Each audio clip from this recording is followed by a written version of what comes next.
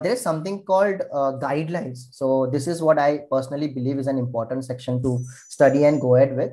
Guidelines talks about you know how you need to behave as a ux designer while you're designing something.